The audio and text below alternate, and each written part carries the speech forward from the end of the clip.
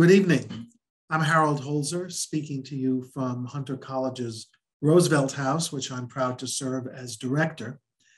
And on behalf of Jennifer Raab, the president of Hunter College, it's a pleasure to welcome back our colleagues from the Living New Deal um, for another of our programs. And tonight, a discussion of food policy and food systems, both 90 years ago, in the midst of a national crisis of hunger and, to, and also today, when food disparity remains an, an unresolved challenge amidst so much great uh, wealth and, and plenty, the conundrum of our times, I guess.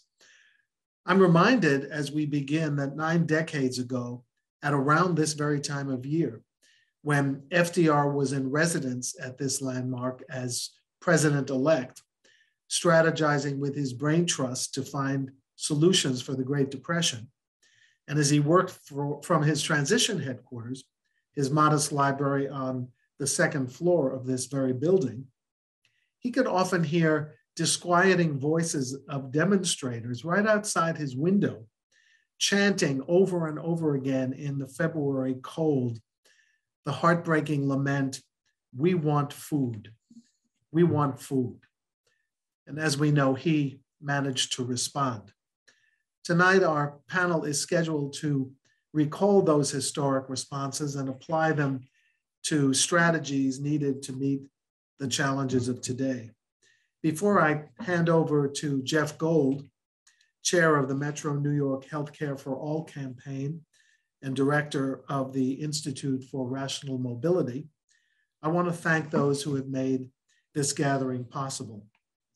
Our panelists, Kate McKenzie, director of the Mayor's Office of Food Policy, Jan Poppendieck, professor emerita of sociology here at Hunter and co-founder of its New York City Food Policy Center.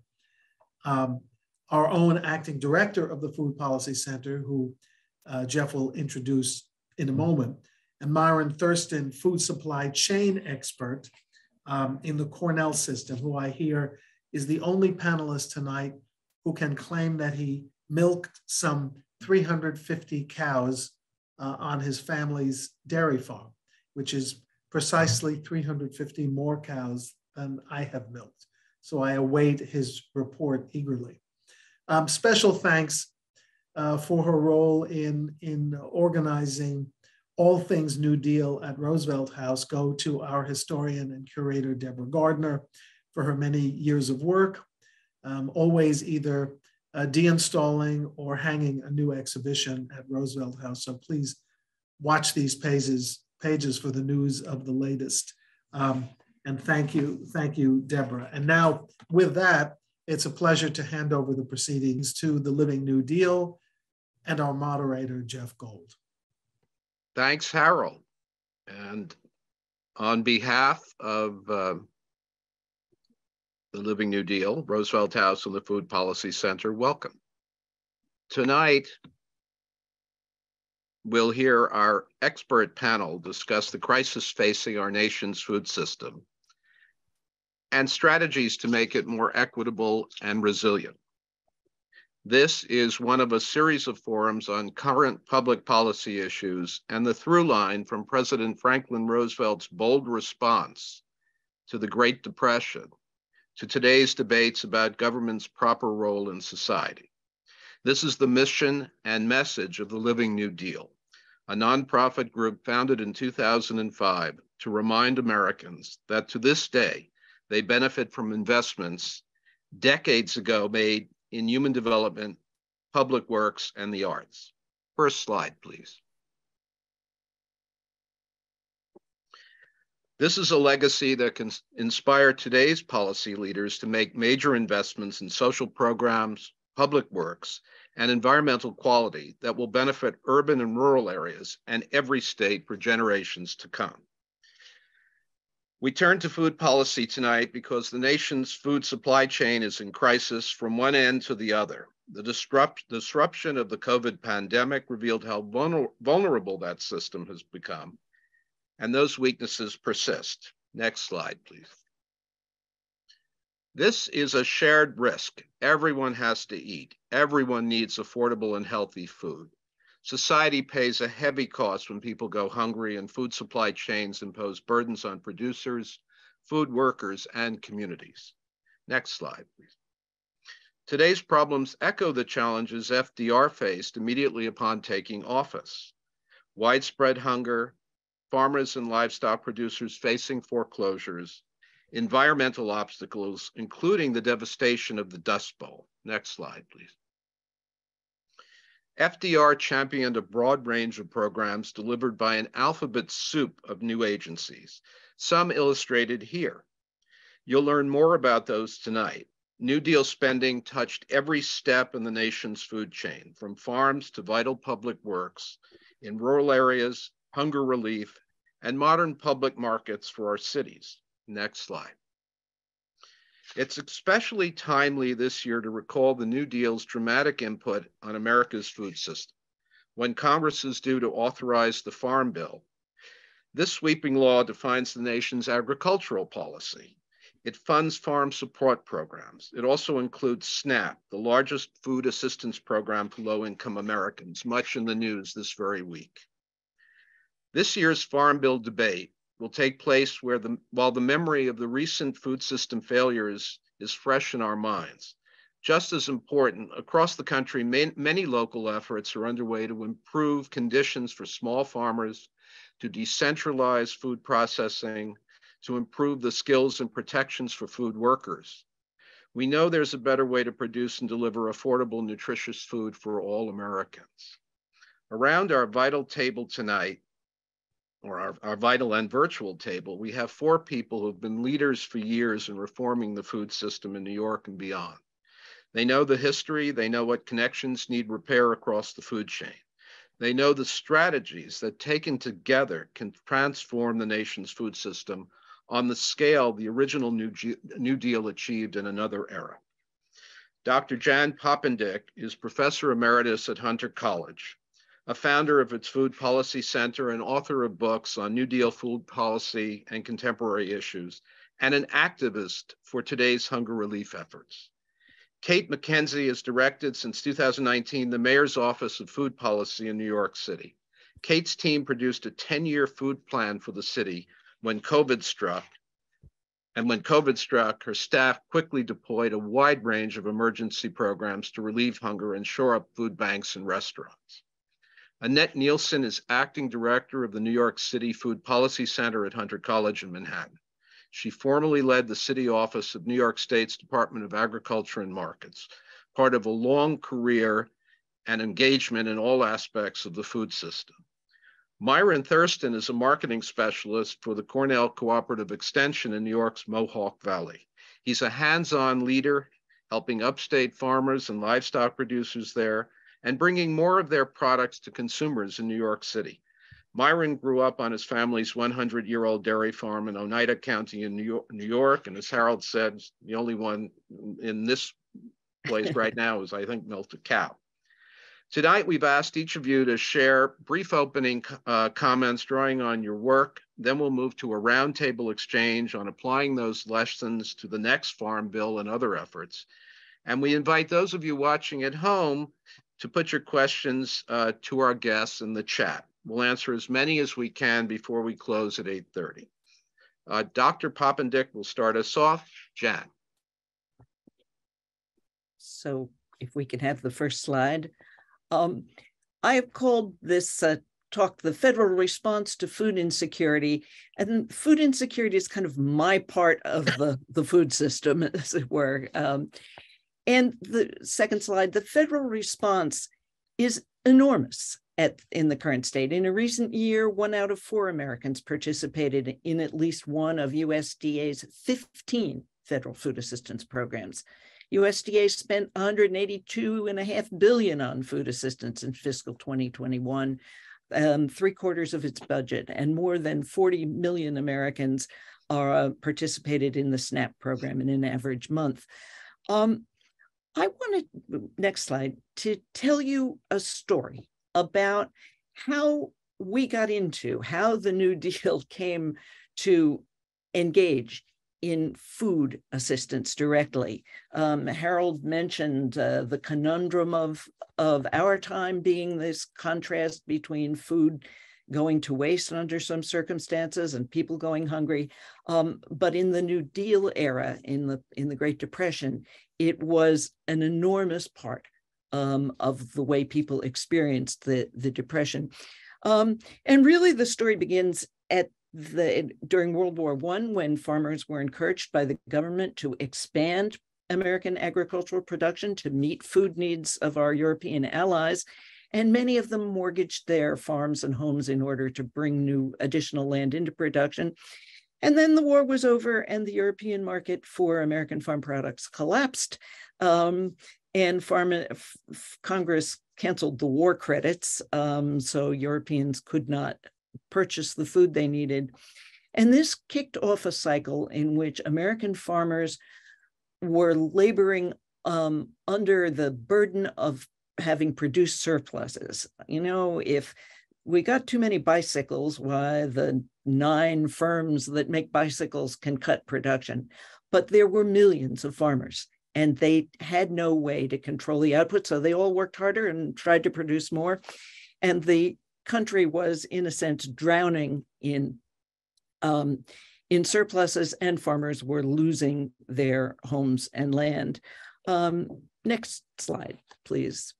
Um, tax sales and bank foreclosures um, met with resistance um, as communities and farmers tried to hang on to their land. Um, and the next slide then. Um, when the crash came and the market further shrank, um, American agriculture had been in distress all through what for the industrial folks was the roaring 20s. But when the depression hit, and people couldn't afford the, the food they need. Why, um, you see the product of the, those cows that uh, none of us have milked except Myron. Um, but that's the, the famous dairy strike where the milk was poured out on the highways. The destruction of food dramatized the contradictions. Next slide. So it all came to a head when the Roosevelt administration um, under the terms of the new Agricultural Adjustment Act, decided to try to forestall a blood on the hog market by slaughtering 6 million baby pigs and what are called piggy sows, pregnant pigs. Um, and um, it was a public relations disaster. I'll take the next slide, please. For one thing, the pigs uh, uh, escaped. The, the stockyards were built to contain large hogs, and the little pigs got out through the slats and went squealing down the streets of Omaha and um, other abattoir cities and generated a kind of public sympathy for the poor little pigs. But much more fundamentally, people were greatly distressed by the image of food being destroyed and going to waste when people were hungry in large numbers. And finally, there was the problem of the byproducts of this slaughter. The pigs that were too small for the equipment, for the processing equipment, were essentially ground up into a liquefied pig called tankage. And tankage um, can be used, can be dried and used as fertilizer. And that was a common practice in that era for the extras of the, the um, killing process. But of course, the drying facilities were quickly overwhelmed, and the processors got rid of this liquefied pig as they could. They dumped it into rivers, they put it in gravel pits, they dumped it in quarries. And next slide, please. Um, oops, well, I missed one here, um, but never, don't worry about it. We'll get to this in just a second outside of Chicago, Chicago was the home of the Chicago Tribune, and it was a paper that was hostile to the Roosevelt administration and the New Deal. And outside of Chicago, uh, the processors had indeed dumped some of the liquefied pig into uh, gravel pits. And then the weather, turned hot, as it often does in September, and an enormous stench arose, and clouds of blue flies descended on the, uh, the suburbs of Chicago. And the Chicago Tribune had a, a field day attacking the administration.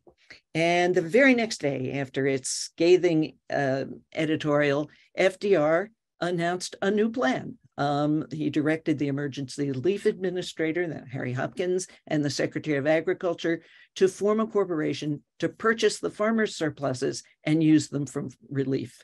So the Federal Surplus Relief Corporation was chartered in October of 1933. Um, and at that point, it became a kind of political football. It was used at first effectively to supplement federal cash relief and meet the needs of many families in need. But when the relief structure changed, the relief folks didn't want it anymore because it contradicted the, the ideology they were promulgating. Um, so it was handed over to the agriculture department, and that set the pattern. Okay, for the next next slide, please. For the next um, decades, it was run largely um, to benefit farmers, and it was the commercial farmers, the large farmers, who were the primary clients of the Department of Agriculture.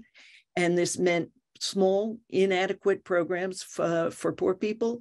But as the demographics changed and the farm bloc power dwindled, food assistance became a crucial bargaining trip, chip.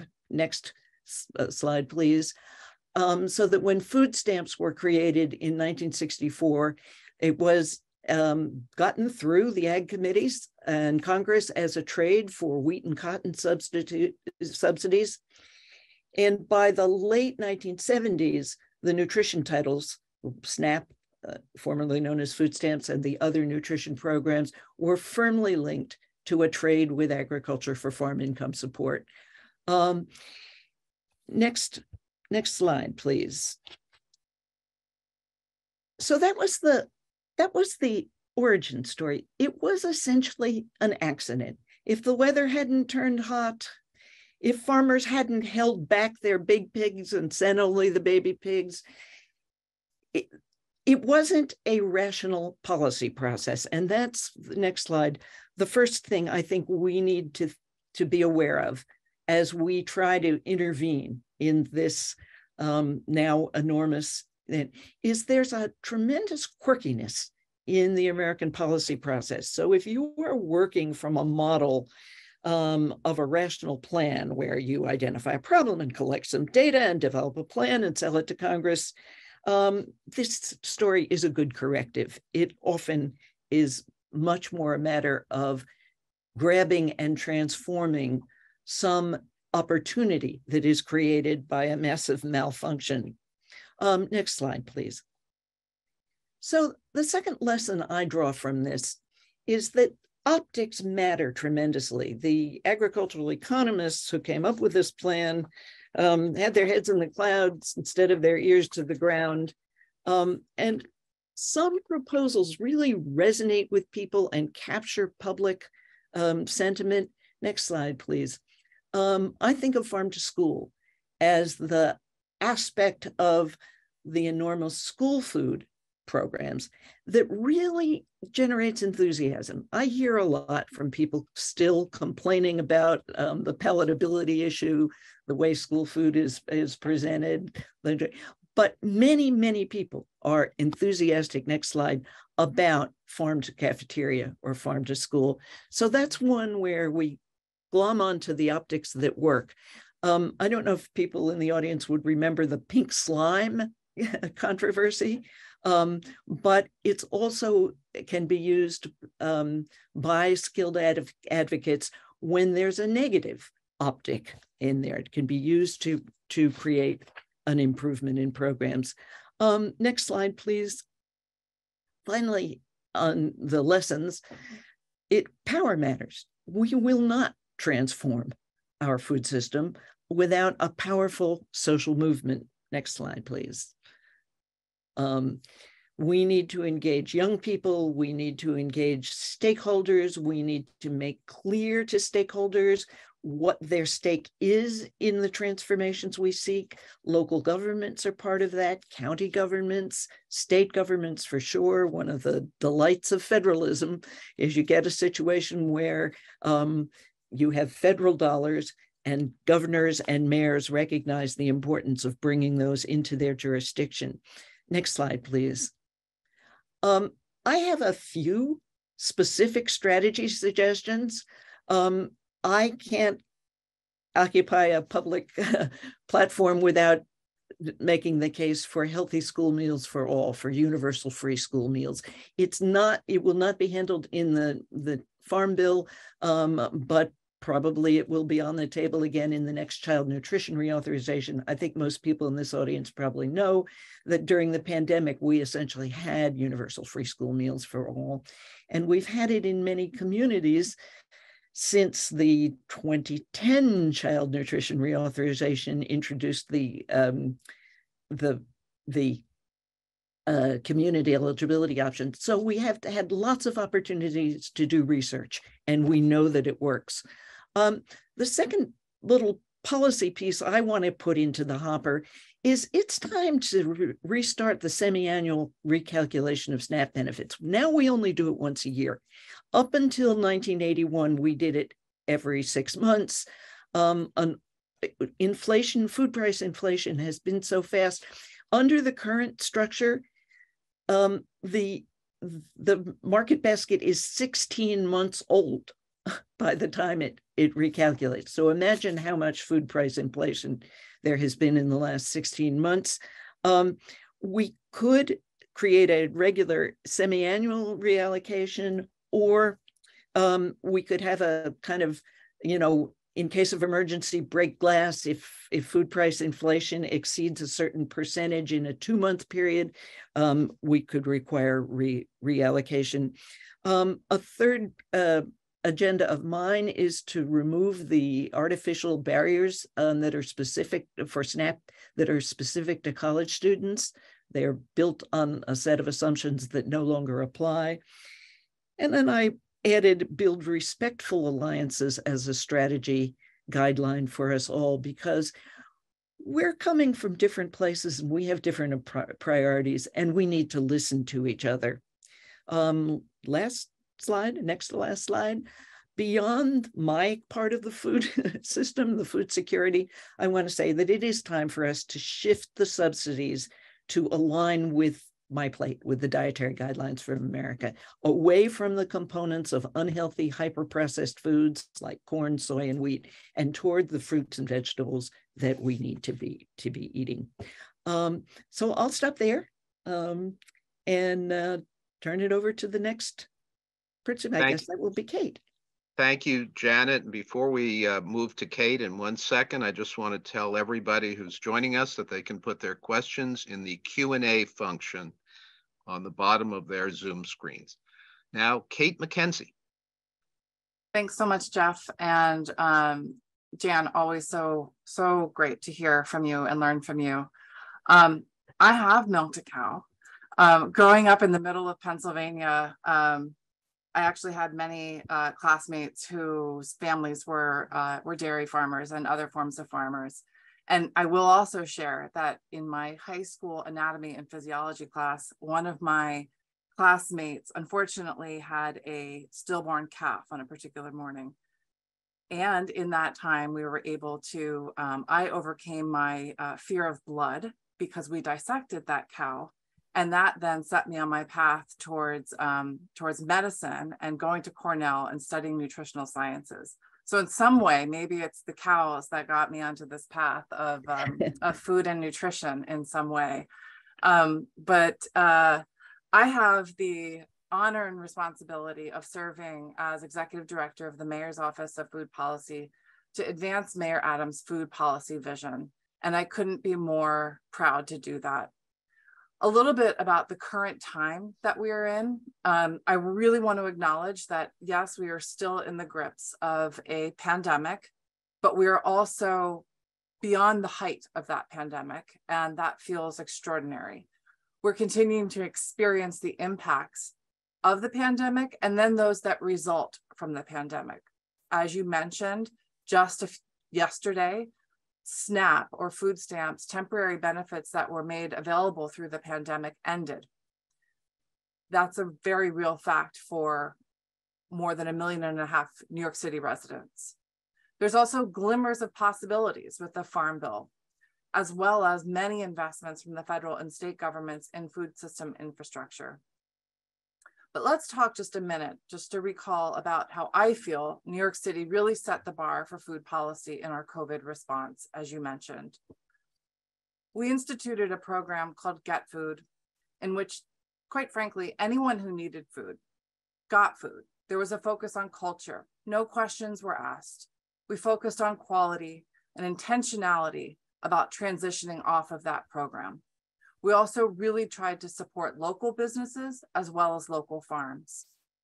Also through the pandemic, we started something that still is in practice called a regional food working group. The origins of that group were in the beginning days of the pandemic. You might remember how, how did we move across state lines? How were trucks to be able to, uh, to, to show that they could cross a state line? And were they going to be welcomed? We our Department of City Planning's regional planning team started talking with New Jersey, with New with Pennsylvania and other states who were coming into our Hunts Point market to make sure that they were able to do that. We now continue those conversations and focus on perhaps the raw data that the city has about what we're purchasing to signal to the markets about if you'd like to do business with us, how we can continue to engage in that. We currently convene USDA and the State Department of Agriculture and Markets to talk about our regional food business center grant opportunities.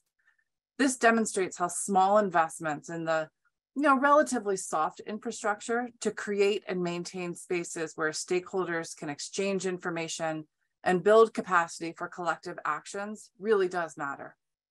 You mentioned we created the city's first ever 10 year food policy plan we didn't take a beat, we didn't take a pause during the pandemic, but rather captured those lessons to really focus on food policy in its most comprehensive sense.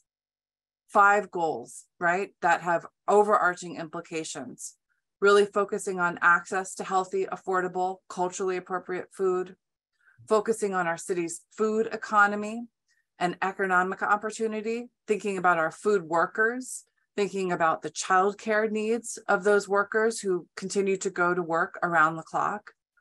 We focused on the supply chain that feeds New York City, ensuring that it's modern, efficient, and resilient. We really took a look and examination of the food that's produced, distributed, and disposed of, and wanting to make sure that that was done with as a lens towards sustainability. And then finally, making sure that we as a city are supporting the systems and knowledge to implement a 10 year food policy plan, exchanging ideas, hearing from stakeholders about how we're doing, and also the ideas that we haven't gotten right just yet. But I also want to talk a little bit about what we will talk about on this call, which is truly strategies for food systems transformation. This is what um, and Mayor Adams' food policy is all about food systems transformation. We're intentionally working to influence and then change consumer food preferences and eating behaviors. From plant based defaults in our public hospital system, that's right, in our public hospital system, if you are a patient, a plant based meal is the default option. Of course, if that's not for you, you have the choice to get something else. But trying to make the healthy choice the easy choice is what's driving our actions introducing plant powered Fridays in schools. And this is particularly uh, a, key for me, who I have two public school students in my household who give me reviews every single day. We've also introduced fresh produce into the city's emergency food distribution program for the first time. And we've set new food standards for all meals and food that the city procures and serves. In this administration, we also understand and acknowledge the food and climate connections, working with our Chief Climate Officer, our Office of Climate and Environmental Justice to determine strategies to combat the real challenges that our food system plays in the face of climate change.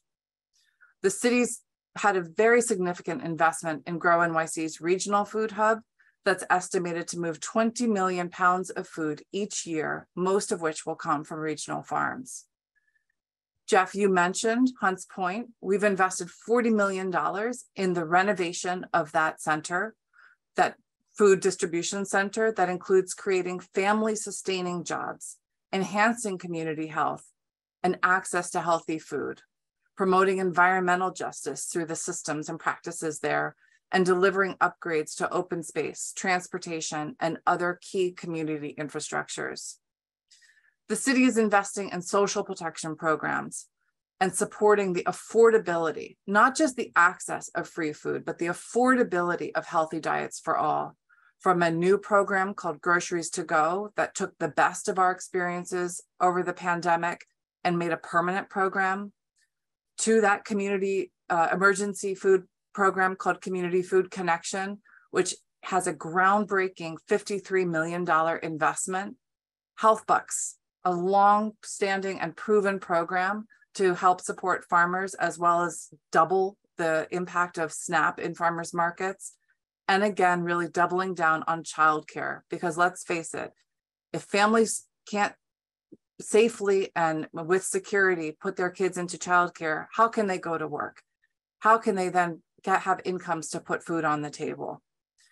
These examples illustrate the importance of supportive government policy.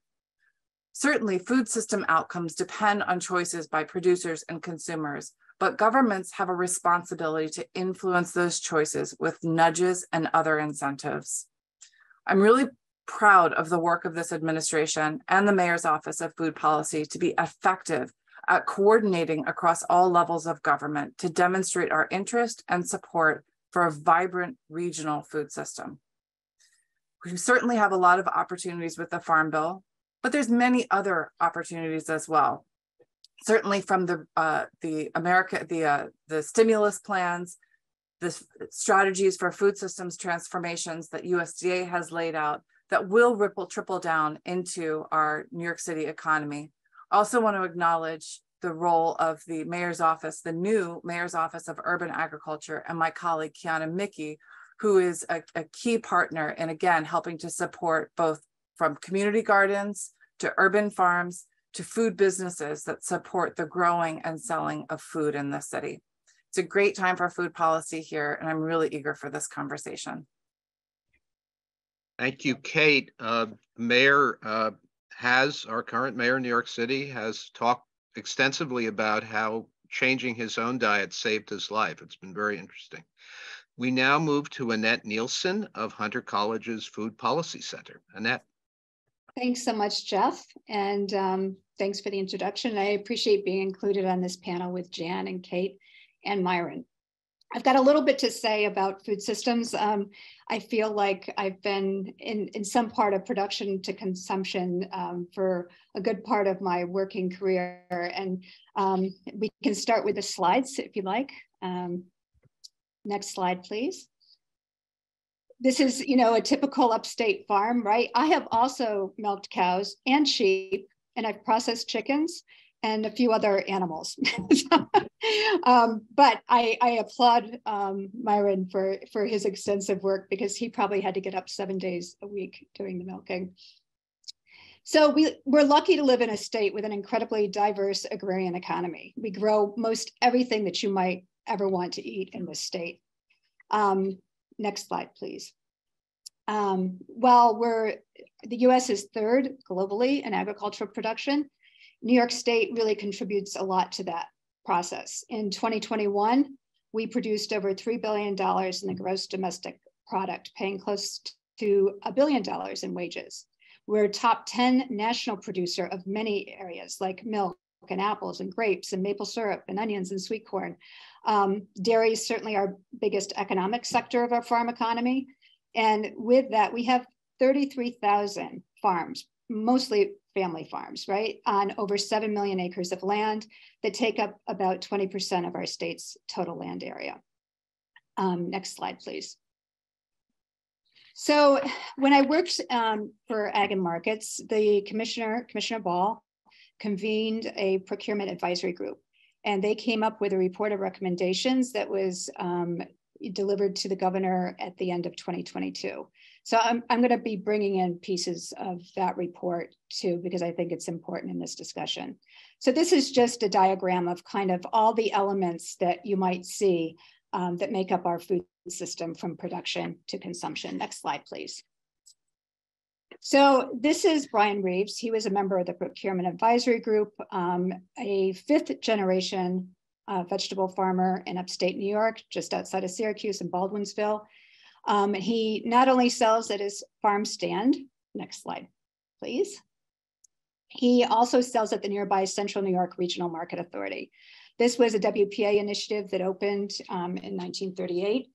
Um, and you know it's it's a great um, area that is still going now and it's it's uh, serving about 10 counties in new york state next slide please so this is the market today. Um, expanded certainly um, it exists on about i don't know how many acres but it's it's huge and it uh, is this picture doesn't tell it all but it is in disrepair. And their executive director, Amanda Vitale, is trying to identify some funding sources to upgrade the sheds, HVAC, um, you know, refrigeration, all of all of the things necessary for a regional food hub. And she says, you know, this building served the purpose it was intended in 1938, and it's even more important today in light of COVID and supply chain issues. Next slide, please. So the Reeves family also sells um, to uh, the, the food hub in the Bronx, for NYC's food hub. And, you know, that food from that point goes, you know, that farm food goes to many different places in New York City, that last mile. Um, it could land with a grocery store, a market, restaurant, or with institutional chefs like Frank Walren, pictured here, who works with Bronx Works. Next slide, please. So um, as Kate mentioned, you know, Grow NYC has has you know they're expanding. They have received funding for an upgraded facility.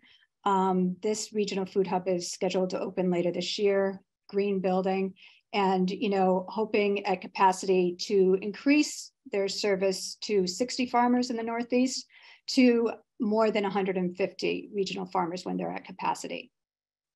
Next slide, please.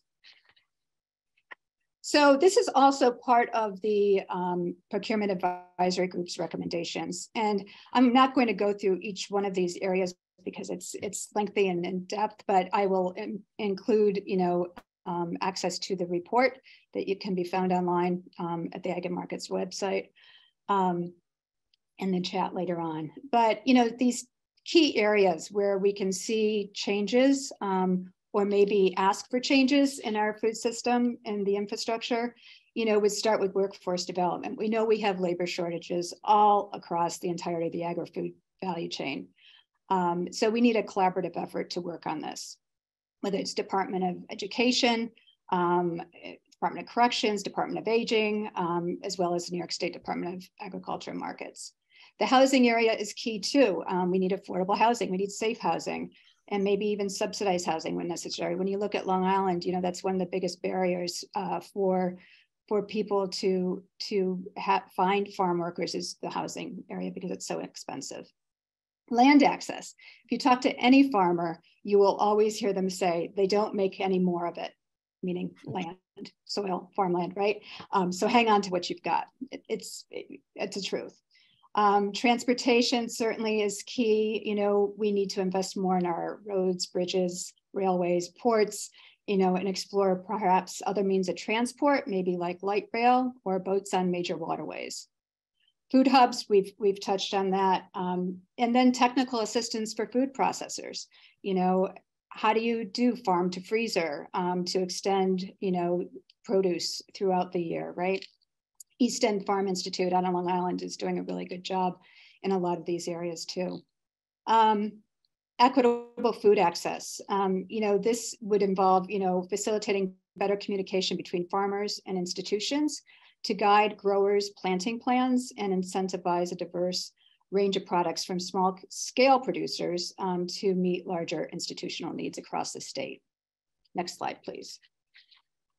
So this is another uh, diagram from the procurement report. Um, and I'm just going to touch on a couple of areas here. During the pandemic, and in fact, on I think it was April 27th, we were looking at some figures today at the office, um, the Nourish New York launched.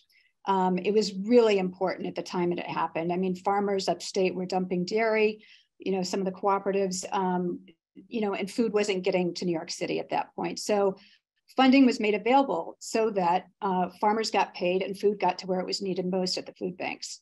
Um, that amount of money really was helpful at the time. And as of November 21st, it's now codified. So we have $50 million a year that goes into Nourish New York, which is really, I think, one of the most brilliant um, pieces of legislation that we've had. Um, and then I'm also going to just pull in here too, because Kate touched on, on the importance of urban agriculture. You know, Urban Farms and Community Gardens grant came, came through the Department of Agriculture and Markets, and that's going to be rolling out and really identifies urban agriculture as an important part of the food system, especially in places like New York City. Next slide, please. Um, here we have a picture of um, Congressman Jim uh, McGovern. He was one of the facilitators of the White House Conference on Hunger, Nutrition, and Health. And a few months back, he made a visit uh, to the New Roots Farm in New York City. It's part of the International Rescue Committee Initiative. And he met here with the New York City Director of Urban Ag, Qiana Mickie. Um, and I will just say, you know, for the first time in our city, we have both federal, state, and, and local representation for urban agriculture, agriculture in general, right? So on the federal level, the FSA is going to be opening up a new office shortly. State, of course, we have New York State Department of Ag and Markets. And then on the local, we have the inaugural office of the Mayor's Office of Urban Ag. So it's a really exciting time I see as, you know, we have these three entities, you know, seemingly, you know, working to push the needle forward and make a difference. Um, next slide, please. And I'll just say, you know, this White House conference hadn't happened since 1969. This is only the second one of its kind. And it's, you know, I know many people, including the Congressman McGovern, really have been pushing hard to have this happen. Um, so it, it, it, does lead to the fact that we need, it's important to ask people who are running for office to put food and agriculture on their platforms. it's, it's not just getting out to vote, it's really trying to encourage them to make these sorts of um, you know, initiatives important. Next slide, please. So, you know, when we look at the Farm Bill, that's part of the congressional agenda. And Jan, you, you really spoke really directly to that. And, um, you know, it's the 18th Farm Bill. There are 200 plus members of Congress who've never worked on a Farm Bill before. Um, but, you know, we have um, you know, Senator Debbie Stabenow is still still on it, um, but this will be her last because she's not running for reelection in 2024. But immigration is another topic that's key to our, our food system, um, um, may or may not be addressed this round, um, and supply chain issues. We need to address these infrastructure needs, right? Um, next, next slide, please. So beyond those tangible and the physical infrastructure investments that we need, we also need to invest in resources for individuals to access information. And we can go quickly through the next slides, but this is where the center comes in. Um, and Jan, thank you for being part of starting this um, institution and place that I, I now get to work and I feel very honored to be here. Thank you. Um, but at the center, you know, that's been going for over a decade now, you know, we work with diverse groups of stakeholders and believe that food policies are not simply regulations imposed by the government, right? There's a lot of good work to be done. Next slide, please. So we have, you know, 59 community districts and we have a neighborhood food resource guide for each one. And these are really important in that they include, you know, an aggregated list of grocery stores, whether or not those stores accept SNAP and WIC, food pantries, soup kitchens, older adult centers, substance abuse resources, farmers markets, social services, and more. And these are updated on a daily basis so they don't get stale and old. Um, next slide, please. And, you know, I'll just run through these quickly. We also have a weekly uh, Food Policy Watch newsletter that goes out. Next slide, please. We're working on a SNAP screening tool for college students that should be rolling out later this year hyperlocal health, um, another initiative that also draws on our neighborhood resource guides. Next slide, please.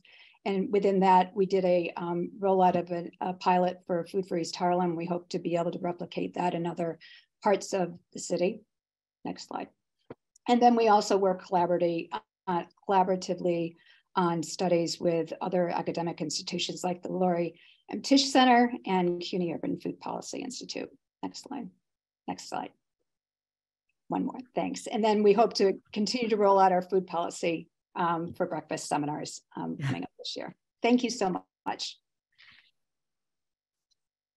Thanks so much, Annette. And uh, we're going to move to Myron Thurston of Cornell. We're getting a lot of good questions in the Q&A. Place any questions at the Q&A function at the bottom of your screen. Myron Thurston, thank you. Hello, everyone. Um, thanks so much for having me with this really august group of uh, speakers tonight. I uh, work with Cornell Cooperative Extension, and my position is paid for via the New York State Assembly. Um, and my job is to help upstate New York farmers bring their goods into the New York City marketplace. Uh, and we've really benefited from many of the programs that have already been discussed tonight, with Nourish New York being one that has really made a big impact that I'll talk about in just a moment. So just the process, you think early COVID, you know, store shelves were empty. Um, and it happened to be that Catalina Cruz um, from Queens and Marianne Buttenschon from our area who are both in the assembly, had offices next to each other. And uh, Marianne was talking about how farmers were dumping milk and plowing, uh, you know, onions underneath the ground to let them rot. And Catalina was talking about two to three mile long lines to get boxes of food. And they got together and decided to uh, work with the governor's office to uh, implement Nourish New York. And um, we, along with that, they got an additional line item uh, grant to hire me to kind of help manage the process for farmers to get their food into the supply chain because as things sit right now, it's very difficult for a, a, small farmer who is perhaps selling at a farm stand or at a farmer's market to then get their food into the larger food system. What I also wanted to understand better was how we could serve um, people who were food insecure in New York City. I my background after milking cows, as was mentioned, uh, was raising money for not-for-profits and specifically community not-for-profits. So uh, hunger is a big deal for me to, to try to help with. And so we started to learn about how food was distributed, where we could insert ourselves into the supply chain in order to be able to provide healthy, nutritious, and fresh food from New York State farmers. And so when we talk about why the New York State farmers needed someone like me to help them with getting their goods uh, to the New York City marketplace, the first is there is not a really strong supply chain from upstate New York to New York City. Uh, there was in the 1930s and 40s, but that's gone away because New York City buys most of its food from around the country and around the world. Um, and it, what has also happened during that time is it's become a little bit more expensive for farmers in New York State to um, to operate in general. Our, our, labor costs are a little bit higher. Land and taxes are usually a little bit higher. So what we were looking for was opportunities for farmers to come in close to those uh, international conglomerates, but we really can't beat them on price, though we can talk for a long time about what the quality means. Um, so, and we also are competing in New York City against the biggest food companies in the world, um, which many of those companies are driven by shareholder profit and not working with farmers to make sure that they're successful. Um, what's also interesting to note is the share of the food dollar today that actually goes to the farmer who raised or grew or whatever is about 19%, whereas in the 1939, late 1930s, it was over 40%. And you know, when we think about when subsidies first started in the United States for farmers through the Agricultural Adjustment Act, which was part of the New Deal, that was really to help dairy farmers who had all of this extra production. Interesting uh, side note, that's where government cheese comes from because they had so much milk that they needed to process into something. And so they made a whole bunch of cheese and stored it in warehouses so as part of the process of understanding how we could help distribute food in New York City, uh, I went down and spent some time at different uh, food distribution sites. This is Monkworks Food Pantry in Jackson Heights in Queens. Um, we also went to the La Jornada Food Pantry. Uh, this is at the Queens Museum where they had a food distribution site. And we also started talking with a lot of the people in the New York City food system. And so uh, we had an opportunity to have a really successful, a really good success story early on um, with La Jornada's Thanksgiving uh, food distribution. They helped about 15,000 people in um, Thanksgiving of 2021, but about four days before the event happened, um, we got a, a, distressed call from the food bank and they said our, our turkey donor backed out. So this is one week before Thanksgiving. As you can imagine, turkeys are somewhat hard to come by at that time of year. And they needed 5,000 of them in four days delivered to a parking lot in New York City. And um, we were able to, with our, our partner Mosner Family Brands in the Bronx, um, at, at, Hunts Point, we were able to find 5,000 chickens, not turkeys, but 5,000 chickens um, that were in a canceled order that happened to be sitting in a freezer, and we were able to get them there to help feed 15,000 people that day. So that was a really cool opportunity to see the work that we're doing in action. And that was also the same day that the governor signed the permanent extension of the Nourish New York program.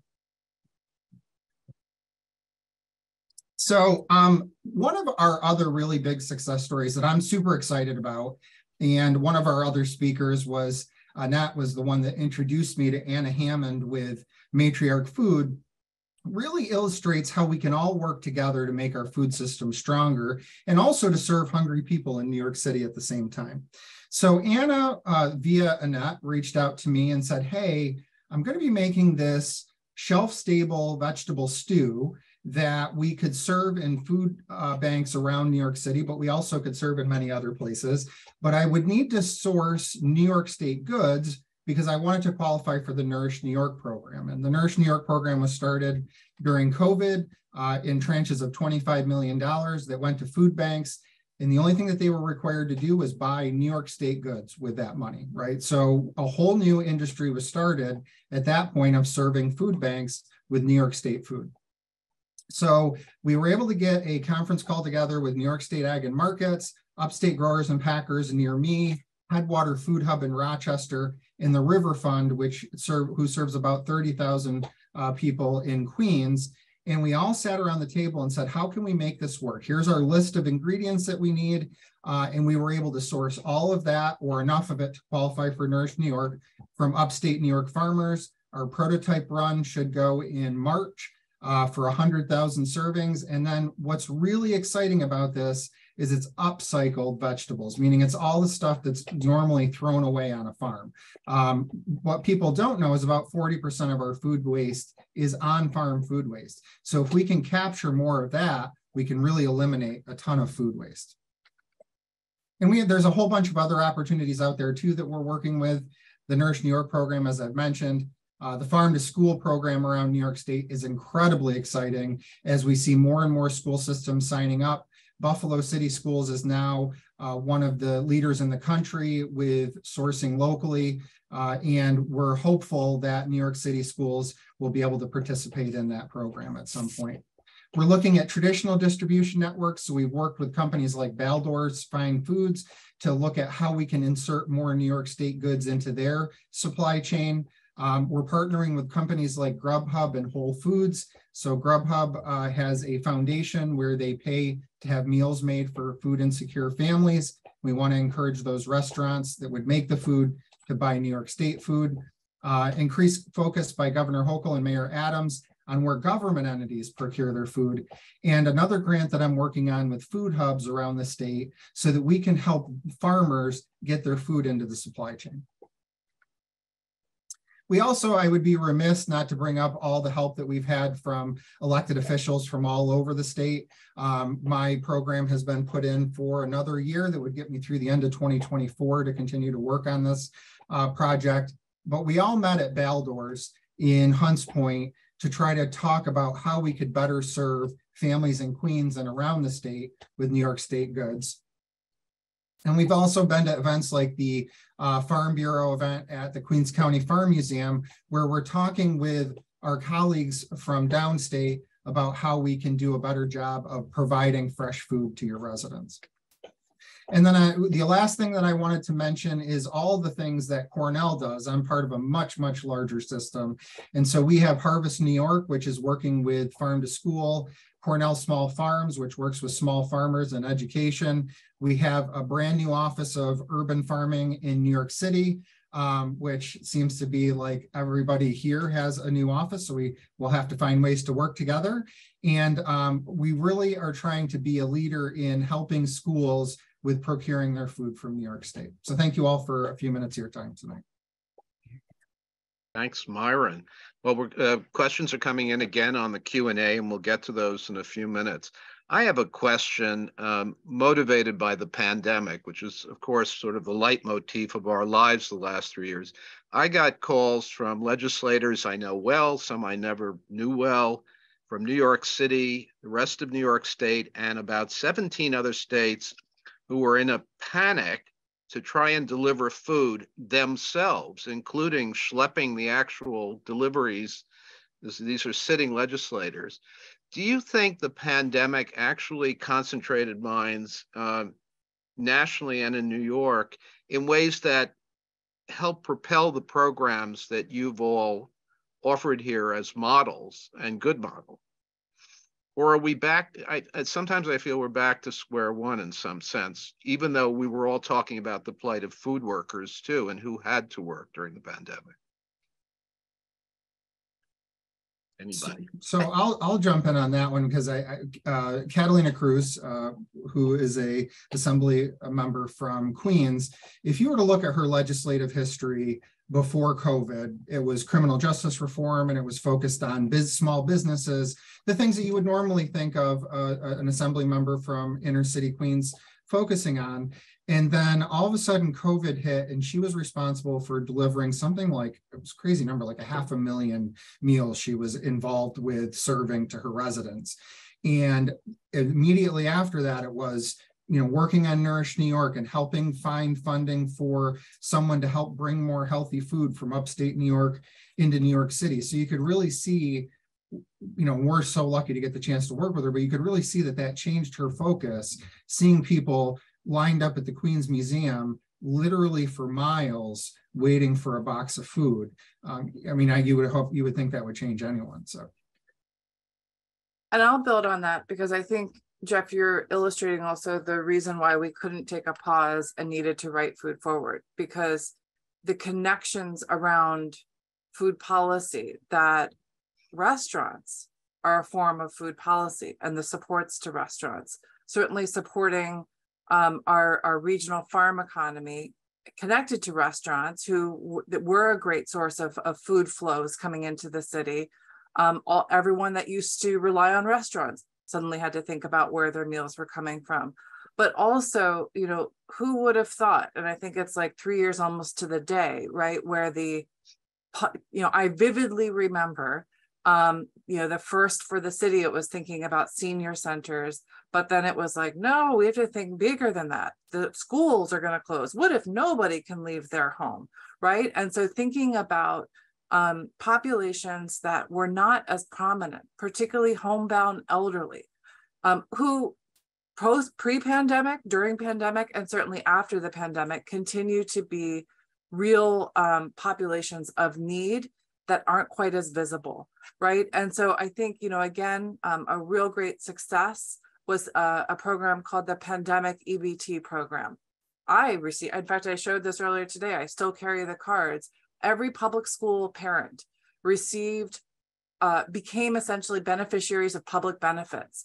So the experience of not knowing when your card is loaded, how do I use it, showing the public card, all of this became sort of um, a, a, a real experience for, for most, for parents in New York City. And you became to realize the um, experience of utilizing public benefits, but also how easy it could be and how for many people who have to rely on the SNAP program, the experience of applying, the experience of figuring out and recertifying for those programs. Government actually worked really well during the pandemic, particularly in food assistance, and how we're able to capitalize and, and, and keep some of those best ofs in quote blue skies, or I'll call it gray skies because we're not really in the blue skies yet. Um, I think those are some of the opportunities and how again we capitalize on the reality of food policy is pervasive. It's about supporting good jobs. It's about supporting access, availability, and desirability of food. Um, a lot of the uh, discussion right before the pandemic about New York State agriculture often centered in the press on viniculture and yogurt. Nothing against yogurt and wine. I like both.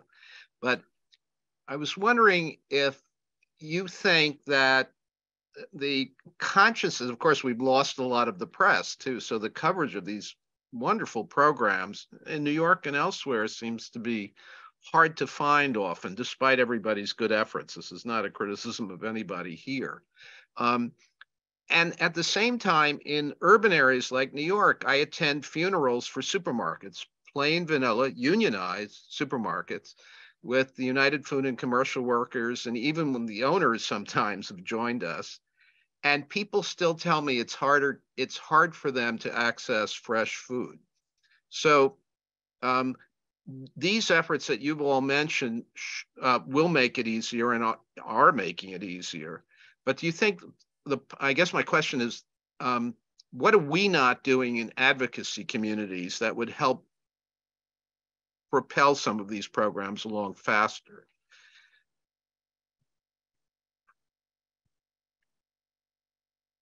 I mean, because you've also mentioned land use. We don't have a direct, we can get freight rail down from upstate New York. We don't have a direct rail freight connection to New York City from the other side of the Hudson. I mean, we have, there's also logistics and infrastructure problems that we discovered during the pandemic that were illuminated by the pandemic, pandemic that we knew about.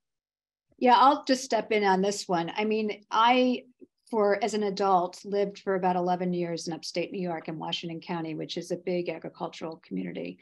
And, you know, in our local K 12 school, which was also a WPA initiative, um, beautiful school, um, we were trying to get more of the local food into the school cafeteria tried and tried and tried right? And i i i even convened groups of um, cafeteria workers with local farmers to see if we could get them both around the table in a growing you know situation so that more things were planted you know maybe a little bit later in the season so to align with the school calendar right? Because not all those things line up. But our local potato grower for example he was sixth generation. Um, you know, when we were talking about bringing just potatoes into our cafeteria, he was maybe an, a mile and a half um, from the school, had gone to the school. And when it came time for him to deliver, he said to me, Annette, he's like, you know, I have to take off an hour basically to load up the truck to bring the school 50 pounds of potatoes because that's about all they could take at that point, right? And unload because there was no one to unload at the other end, right? And you know and then drive back and maybe i'll have someone else on my route but it wasn't you know cost effective for him. It wasn't sustainable for someone who was a farmer who really cared about the community and wanted that food to be in the local school. So you know that whole structure around getting food to where it needs to get you know whether it's a van or a truck or a boat coming down the hudson a barge you know i mean it's like we need to think creatively around the ways we do this. And and and whether it's subsidies to to make that happen i don't know. I mean you know because if if a, a potato farmer can't get his food two miles away you know reasonably um, we've got to do better. I always ask my local green market farmers, you know, um, usually on Saturdays when we have it in my block, how long did it take you to get in? What were the logistics costs?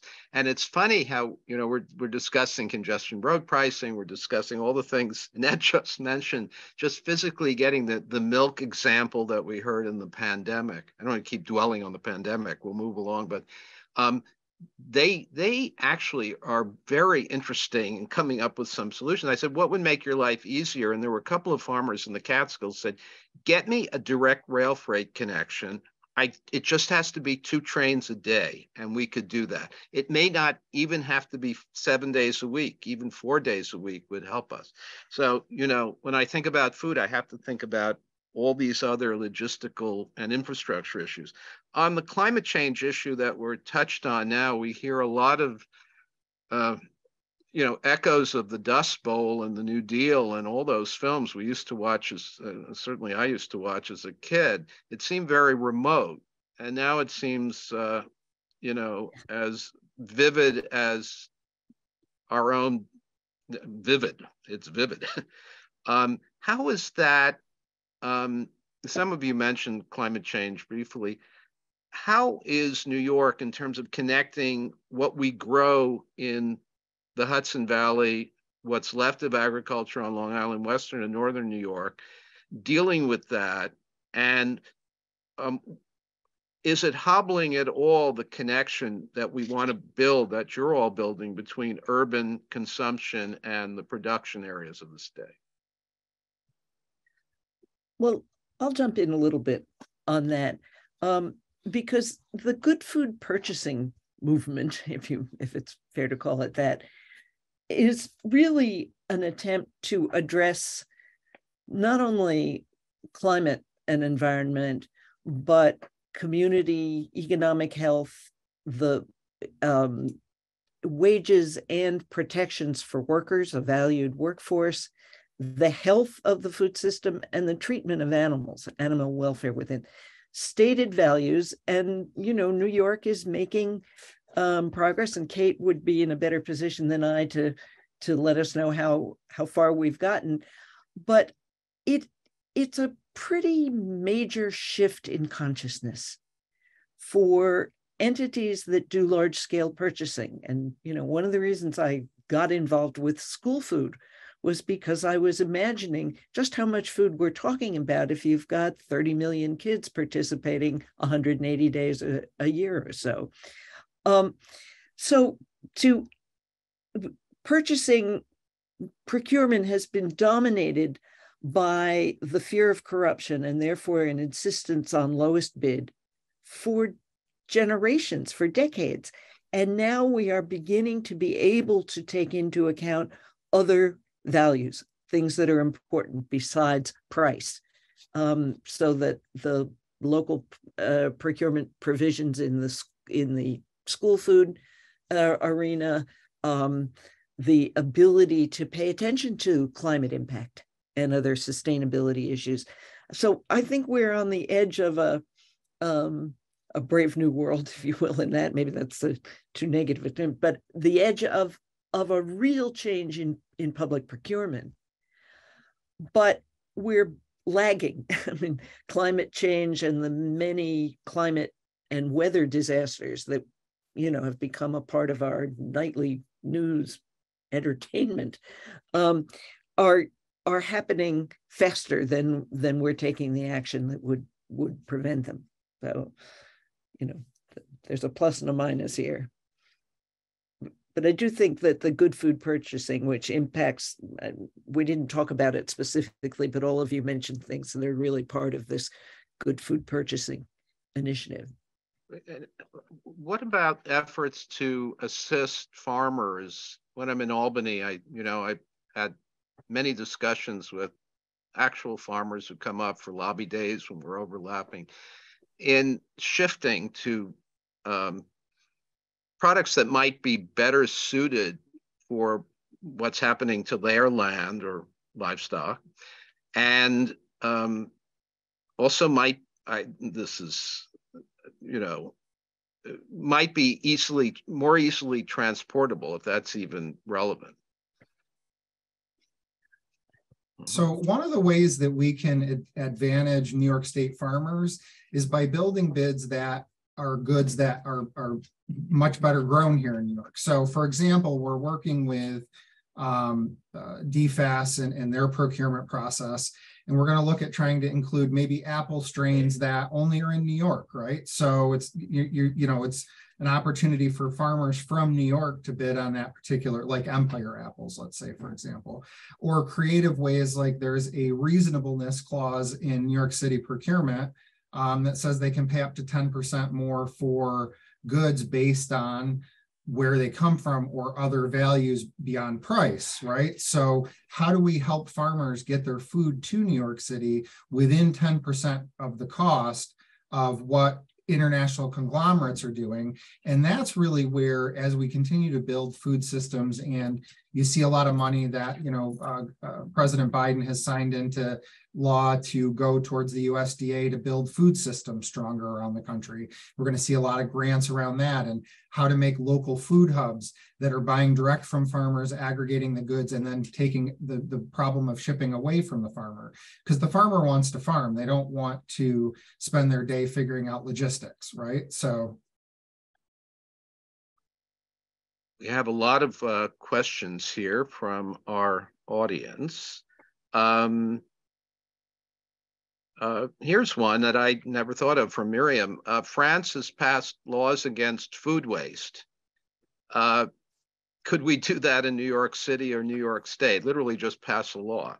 But I know I work with the Solid Waste Advisory Board sometimes in Manhattan. They have projects on that, but I didn't know there was a law against them. Is that even possible? I do know what I will say is that um, you know, Mayor Adams announced in the state of the city that the curbside composting is coming back in full effect. Um, and there has been some extraordinary success with a pilot in Queens um, that is really making uh, uh, composting across the borough at the household level on streets particularly um, accessible. So I won't go into the legalities of uh, requiring it, but I certainly know that ro rolling out the program citywide um, that was pulled back during the pandemic, but expanding that to new and different ways is scheduled to um, to come as soon as the fall. And here's a question from Lorraine, who grew up, she says, in post World War II South Bronx near the Hunts Point Market. Um, some of you had mentioned community based food programs and initiatives. She wants to know what's being done at the micro level, and this harks back to the original New Deal, uh, to translate proposals mentioned into boots on the ground programs that include food and nutrition education, as with the programs that existed in her youth in the 50s and 60s at local health stations run by registered nurses and nutritionists. Well, I didn't know the, about that one of the many reasons to move to universal free school meals, as we have in New York City, is because then you really can integrate food education with it's a, it's a it's a heavy lift. It's a we're not there yet for the most part, but once you have the meal available to all children, you know, free of charge, you can integrate it with the with the curriculum in the classroom. Um, so. There's also some programs that help with uh, encouraging people to buy, say, from farmers markets. There's double up food bucks, which uh, uh, doubles your purchasing power at farmers markets that's run throughout New York State. Um, and there's other programs that help encourage people to uh, buy healthier food, like the food is medicine movement, where a doctor writes a prescription for their uh, the patient to eat more healthy foods, right? And you know, so th- there is a lot of really out of the box thinking going on around encouraging people to eat healthier, and I'm really excited to see where that leads. I um, there's a question here also about um, subsidizing farm worker housing on Long Island when there is so much more land, I guess, uh, elsewhere in New York State. Well, that reminds me of that film Farmingville, where people interviewed on Long Island who were longtime residents kind of wanted the people outrageously who worked picking or packing or shipping their food from the agricultural sector on Long Island to disappear. Yeah. So this is also an immigration question. Many of you have mentioned that we want to integrate our all our populations in New York in a new food system. Uh, Molly's question about is whether Long Island is the most efficient place to do that. Well, we also get more than just produce. Um, you know, out from Long Island, there's the whole fisheries side of things that we don't see in, you know, say in the central Adirondacks. you know, you might get some trout up there, but um, you know, it's it's not it's not that same marketplace. And so, you know, it is fertile land in Long Island. I think, you know, there's there are a lot of good projects going on. I was just out there um, a couple months ago. Um, and you do see, I mean, I was driving into this conference and uh, kind of cutting across the East End. And, you know, there's the traffic that is coming from the West um, out there at 5.30 in the morning is amazing. But it's, and it's all people who are working in service roles. And, you know, it's it's not just farming and food service, it's everything. So, you know, it's it's an indicator of, you know, how housing, yes, I mean, we need to to probably expand, you know, farming opportunities or growing opportunities or food businesses all throughout the state. But um, the fact remains there is a lot still going on in Long Island and housing is a barrier. Oysters and shellfish out there. And I remember years ago, John Klein, who was a Republican county executive, had a land protection program. I think it was in the in 70s, early 70s, because they they were dealing with uh, development and overdevelopment of existing agricultural land. And then it wasn't just duck farms; it was you know it was other other uh, forms of produce that they grew there. Um, I we used to talk about food co-ops, food cooperatives as a solution to getting local food to people that was fresh. I've certainly belonged to them. Ours were set up and break down, nothing like the gigantic Park Slope Food Co-op. Does anybody talk about that these days? Yes, there's a lot. There's a, many, many um, active food co-ops. I do think Jeff, it, it, sort of butts up against the question you raised about um, grocery stores closing too. You know, there's there's the um, the cost of doing business in New York City, and many of the models that some of the uh, food co-ops are taking are starting as nonprofits, right? So the to to really um, support the business models where you have to pay for the space that you're in. That's sort of the vicious cycle of um, that gets to the again, the business models to be able to sustain low cost membership, low cost food, um, met with needs of paying people as well as paying the rent and everything else. So, but there is a, you know, and I, I don't think this movement has gone away in, I don't know, the 15 years or so that I've been been following it.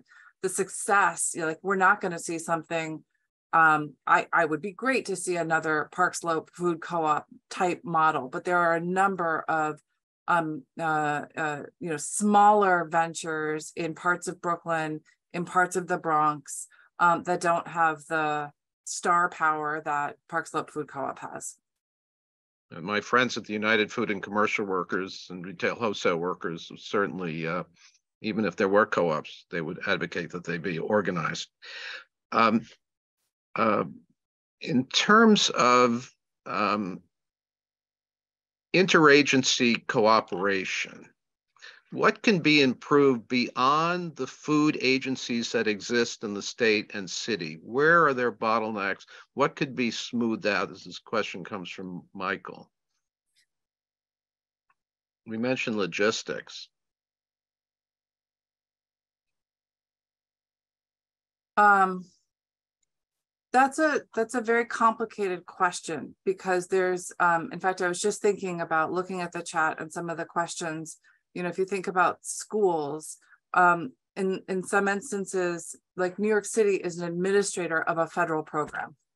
Um, and so thinking about who in, in any uh, sort of semblance of, of federal programs typically whether it is uh, originating at the state or federal level there's all different types of um, of you know the operations of it the execution of it the the tracking of it all of these systems it's not quite so easy to say just where's the simple fix? But what i will say and i i sort of spoke to this in my opening remarks is in my experience never before has there been better lines of communication open lines of communication between city state and federal agencies and offices that do share the same desired vision and outcomes. Um, you know, it's uh, it's you know, particularly as again we're facing a real crisis of benefit reduction, but we're all trying to make sure that not just that certainly New Yorkers know that this is happening and can ideally plan and figure out ways to support the the lack of benefits that they were having but you know there's a there's conversations. And i've been in you know, in experiences when those conversations weren't happening? Um, I, I, inevitably, I mean, the SNAP program, the Supplemental Nutrition Program was of course mentioned, but inevitably the headlines this week about, you know, even work requirements for SNAP and cutbacks in other states, particularly Sunbelt states, are very distressing. We already are struggling to feed millions of Americans. And as FDR said, and invoked one third of a nation ill housed, ill clad, and ill fed.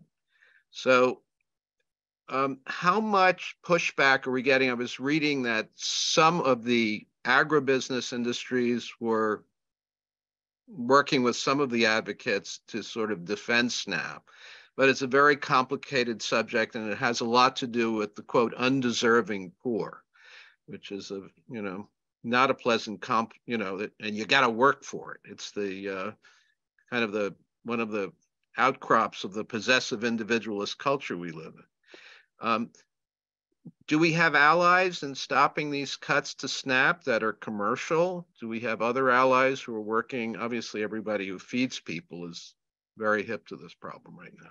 It seems incredibly urgent. Well, you know, the the food industry, the food manufacturers, the grocery industry are certainly aware.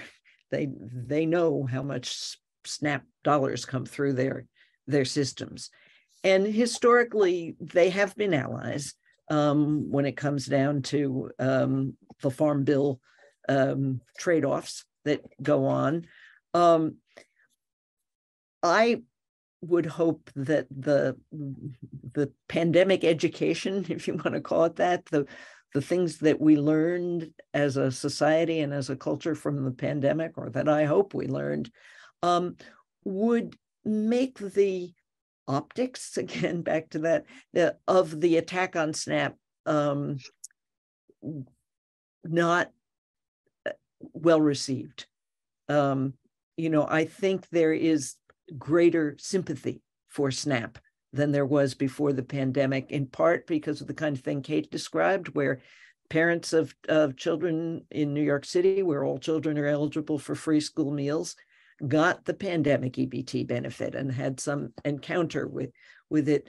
Um, but the the SNAP um, mobilizing around SNAP for the Farm Bill is essential. I mean, the the role of advocates in pointing out what will happen if SNAP gets cut and what will happen not only to the the recipients to the people who will be hurt most immediately but to the people who the multiplier effect it's uh, generally estimated at somewhere between a dollar and a half and a dollar 80 for every dollar spent um, in benefits that's the that's the amount that goes into the community as jobs as transportation as view uh, so we know the we know who will be hurt. Um, the city of New York will be hurt. The state of New York will be hurt.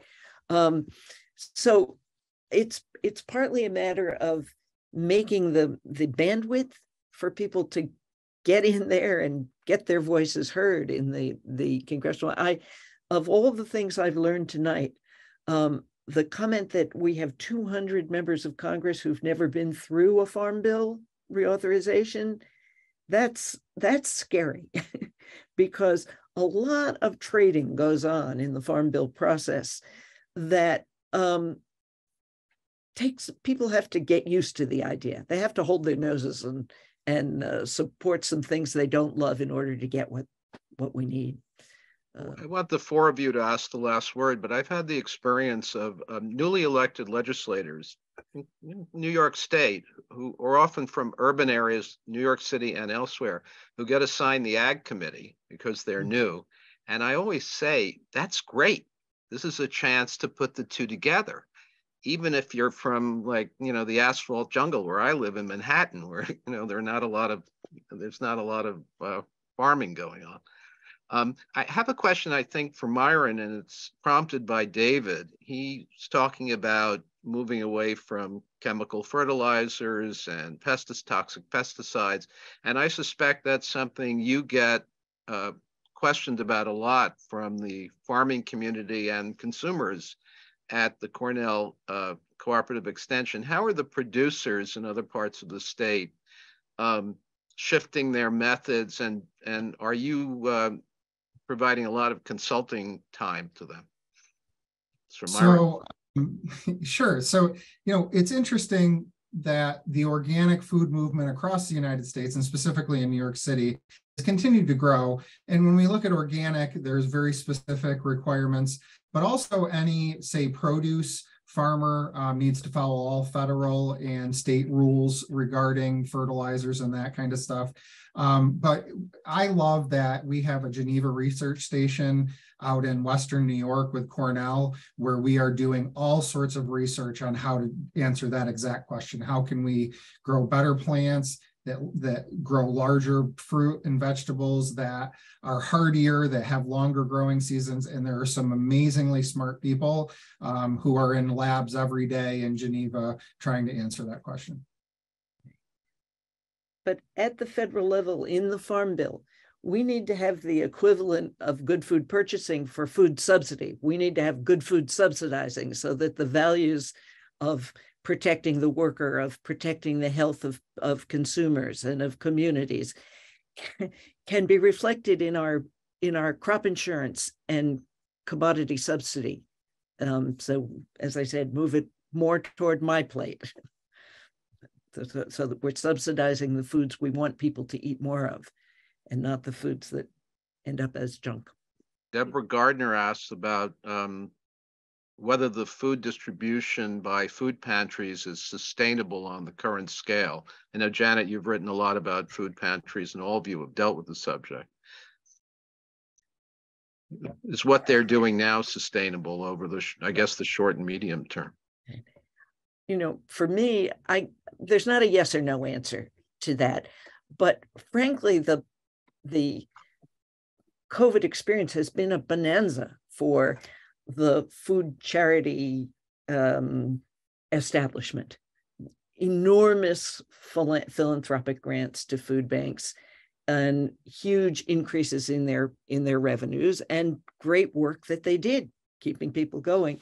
I think we need to be asking the question of do we want to expand food charity or do we want to create the kinds of fundamental income access jobs and income uh, support programs that enable people to participate in um, a, a, revitalized and um, reinfrastructured uh, commercial food system. I would rather buy my food at the grocery store than have to pick it up at a food pantry.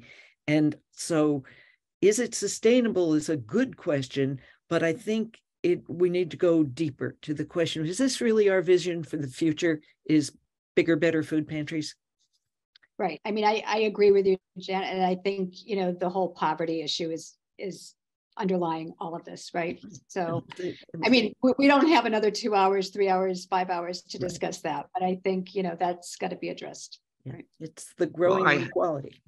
I have to thank all of you. It's been wonderful. I've learned a lot. And uh, this is a subject we'll obviously continue at Roosevelt House and Living New Deal. I want to thank Janet, Annette, Kate, and Myron and of course, uh, Lou Venich of Living New Deal New York and our working group, who was the producer of this event, the estimable historian and curator Deborah Gardner of Roosevelt House, the staff of Roosevelt House, Mac Barrett, Daniel Culkin, uh, Arlene Geiger of Living New Deal New York, and all of you. And uh, we all got to eat. So uh, we'll continue this discussion. I really appreciate it.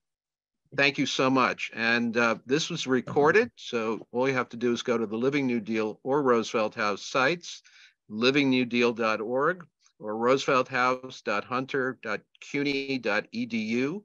And if you have any questions that you didn't get answered, I'm happy to pass them on to the panelists directly through our websites. Thank you so much. And thank you. Thank, thank you. you. Have Thanks, a good night, Jeff. everyone. Good night.